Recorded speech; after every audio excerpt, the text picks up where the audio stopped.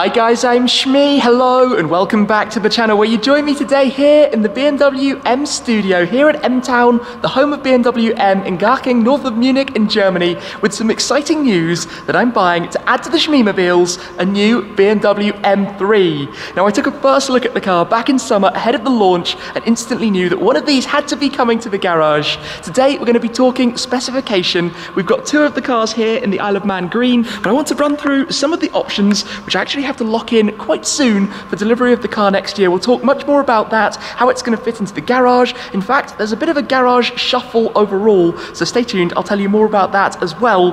But also here, you might spot over on the stage the new M4 GT3 race car. We're going to take a first ever look at that while I'm here as well. But let's talk about the future Shmeemobile, the new BMW M3. First things first, let's take a look at the two M3s that we have here. Parked opposite ways round, we can go through all of the details and talk about the spec, but then we're going to go and explore as well some of the special cars here from BMW Motorsport, including that new M4 GT3. So we're looking at two variants of the new M3. We saw the launch of the M3 and the M4 simultaneously. The M3, of course, the four-door saloon, and the M4 is the two-door coupe. We have the non-competition model here in front. That means this car is rear-wheel drive with the six speed manual gearbox. In this case, you get 480 horsepower. Then, if you go to the M3 competition, that means it has the 8 speed automatic gearbox, the M 8 speed Steptronic. In this case, it's rear wheel drive, but in the future, we'll also be arriving an M xDrive version with the switchable four wheel drive system. This car has a little bit more power, 510 horsepower, so 30 horsepower more. Now, of course, both of these cars are very much in the launch specification. So we have the Isle of Man green paintwork with the bright Kyalami orange interior, which stands out for sure and they're also wearing the 825M wheels, which are very similar to the specification that I'm thinking that I should probably choose. But the first time that I saw the new M3, when I went to see it in the studio, of course under embargo before it was revealed, as soon as I saw this, it just stood out. Of course, there's been plentiful discussion about the look of the front end, but honestly, in person, you gel with it much more than you might think. But for me, the biggest thing about this car are the rear arches. How cool this looks, the flash of colour that you get from that sticking out angle that you have basically how much wider it is than a standard 3 Series. Of course, this looks quite significantly different as you come around. Obviously, the diffuser, the quad exhaust tailpipes, the lip spoiler on the boot lid, and this is before you get to some of the details and touches that the car has on the interior. So the first thing that I decided, actually, back when I saw it the first time, long before it was revealed, was that this was the colour to go for, Isle of Man green. I think it looks fantastic. Now I'm going to be complementing the Isle of Man green with these wheels, the bicolour version of the 825 825M. You can also have the 826M, which gives you a slightly different design, but I really like the way these finish, and especially the contrast that you have with the paintwork. Now, as standard, you have the red brake calipers, I think for me, against the green, I'm probably going to make those black as well. What I should probably touch on, though, first, is between the models.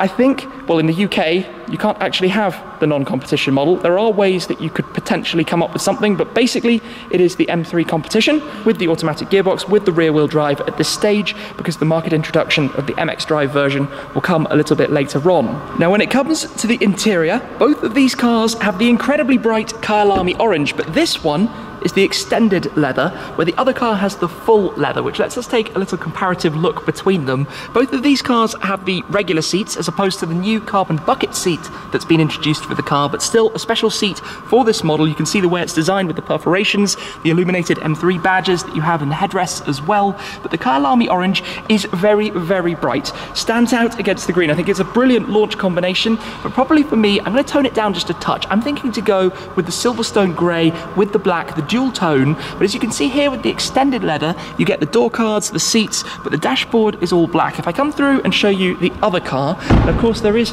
a small price upgrade to go from the extended to the full, but with the full leather, you then get the lower sections of the dashboard in the orange as well, which I have to say look really, really nice, and especially with the Silverstone, which was the same color, by the way, that I had in the M8, and we'll talk more about the M8 in a moment as well, if you're wondering. So I quite like the look of the full leather, Of course, that is nice. Manual. Imagine when the touring version launches, the estate version with the manual gearbox. That will be very, very cool, especially with the carbon bucket seats. What a combination. But there's something else I'd like to show you. I'd like to say a shout out and thank you to the sponsor of today's video, Air for Life and their car Sanifier. We're going to be giving away a few of these, I'll tell you about that in just a moment, but it's an air purifier that uses NASA developed technology to eliminate up to 99.9% of the bacteria and viruses, including coronavirus, that you get within the air, on the seats and on the surfaces within the car to help protect the occupants, particularly in the current climate where more people are car sharing and taking taxis. It uses filterless ionization, is human friendly friendly and also helps with things like allergies, asthma, flu, and hay fever,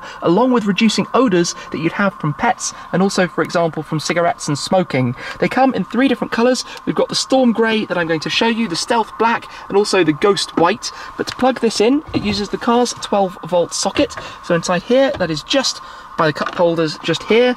This simply plugs in and will then work to purify the air within the car when the engine is running.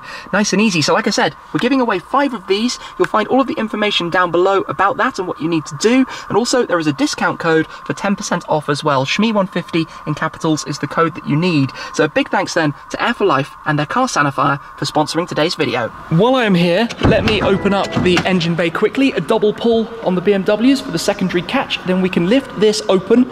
In the competition, the 3 litre twin power turbo turbo inline six, which makes 510 horsepower, so over 500 horsepower in a BMW M3, a big step up for the new generation. Now don't forget, I did get to drive the camouflaged prototype version of the non-competition, the 480 horsepower with the manual, and what an experience that was, so I can only imagine what the production car is going to be like when we get to experience them in the not too distant future as well, and perhaps see what we can do with this in the future.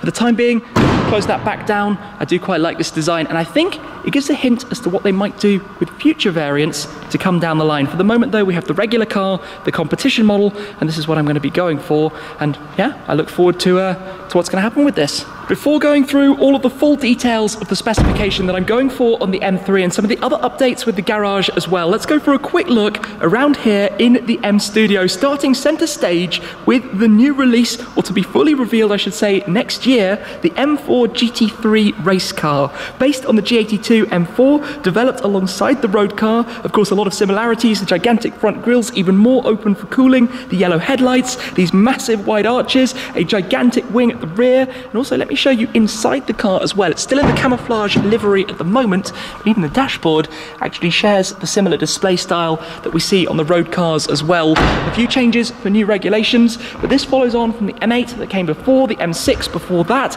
but the previous version was this, the E92 M3. Back before the M3 and M4 separated into different models, this is the E92 M3 GT2 race car, and we've got the M4 GT4, we've got the M2 CS Racing, history of the motorsport heritage car alongside the brand new one, and then of course these two. Now then, the updates to the garage. A few things are going to be changing. The M3 is arriving, some other cars will be arriving, but some cars are going to be leaving as well. Now you might have spotted earlier when I was talking about the leather on the interior, I mentioned the M8 that I had. The M8 has now departed, it did a lot of miles in a very short amount of time, but to avoid confusion, the M3 is going to be delivered in the UK. It's going to be a UK right-hand drive car on a UK number plate, far less confusion I think with that. And basically, I'm going to be spending more time being based in the UK, I think, going into next year than I have this year with everything that's been going on. But let me talk a little bit more then about the car and the options. So it's going to be an M3 competition in the auto with the rear wheel drive. It's going to be in Isle of Man green. It's going to have these wheels, the staggered setup, 19 inch at the front, 20 inch at the rear, the 825M. It will have the black brake calipers, and the interior, like I said, will be the Silverstone grey. I think I'm going to be going with the standard seats as opposed to the carbon seats, but I will try and find find one to exactly decide that in the coming days before I have to submit the spec. I'm undecided as well whether I do go for the full leather to have the lower dashboard, but I do think it looked very, very nice. They do actually offer in the UK what they call the Ultimate Pack, which gives you everything. Carbon interior, carbon exterior, all of the tech, but that is obviously quite a pricey option as well as a result. I'm not sure if I will go for it and completely fully load the car or if I'll select individually the things that I would like. For example, the laser lights, that's an upgrade option. You can have the visual carbon on the exterior, but to be honest, seeing the car here with all of the gloss black for things like the mirrors, the side skirts, the lip at the rear, I actually think it works pretty well. Of course, you do have the carbon fiber roof uh, as standard on the car, so I'm not sure about that one as well. I will go for the technology pack, which gives you the drive recorder, it gives you the adaptive cruise control sensor, and some of the other technology uh, in that respect. The comfort pack as well to get comfort access, and the power fold boot lid as a result. So some of these things I do need to think a little bit more about. Don't get me wrong, I'd love the manual, but I think for me, this is more a car to daily drive effectively, which is why the competition at this stage makes more sense. Maybe in the future I'll even consider swapping it up into the M xDrive version. But picture this car then with the grey interior as opposed to the orange interior, and you're roughly looking at the next Shmeemobile. The question will be which number plate exactly it is going to wear when the time comes. One of the SH, then the numbers. I'll try and find something that connects to the car, then MEE, of course. Perhaps it could be the successor to the red Focus RS. Maybe it could wear the 13 plate. It's an M3, the 3 after all. I've got a few to choose from. We'll have to think about that in due course as well. But either way, I think it's going to be a pretty cool car. I think it will be in the garage for a year or two. It's that kind of thing. You know, it's not going to be a permanent car forever, but it's going to be a car that gets used an awful lot. These things just fantastic to drive. And obviously, I'd love to get familiar with the M Drift Analyzer, the drift control that you have inside, and some of the other technology, and hear plenty of the sound. We'll have to see what comes with all of it down the line. In any case, though, I'm going to be spending a little bit more time playing around with the configurator to make sure I get it absolutely spot on before delivery. I guess towards the spring, maybe early summer of next year, 2021. So about six to nine months from now. Depends really when the cars start arriving over in the UK. Obviously, different regions take a different amount of time, and who knows where I'll be at the time and when I'll be able to actually go and pick it up, which seems to often be something that plagues me. So in general updates about the garage, the Toyota GR Supra is still advertised for sale. The red Ford Focus RS is going to be sold at some point soon. That's always been the plan. The car is now about two and a half years old. Also, a bit of a surprise, I think I'm going to be selling my Ferrari GTC4 Lusso.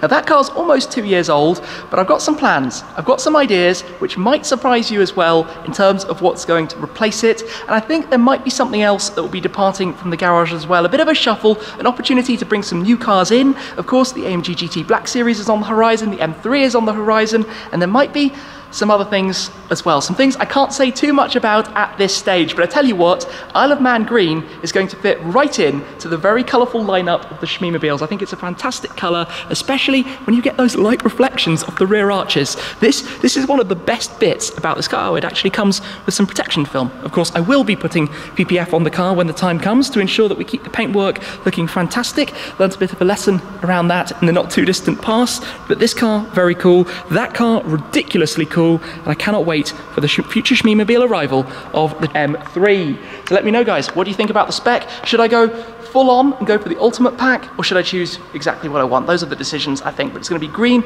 with a silver interior and with these wheels, not black wheels, because I'm not a big fan of black wheels. I'm sorry to all of the people out there who think it should have the plain black wheels. That's not for me at all.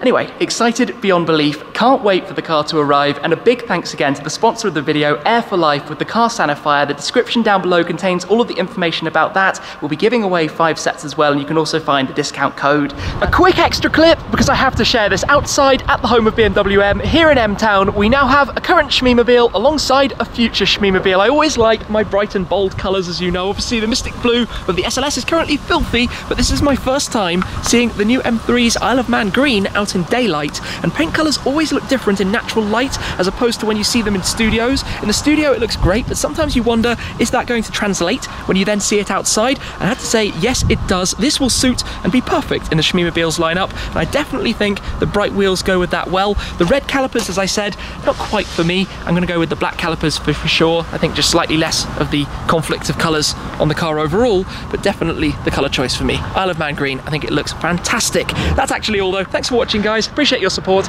I'll see you very soon. Cheers!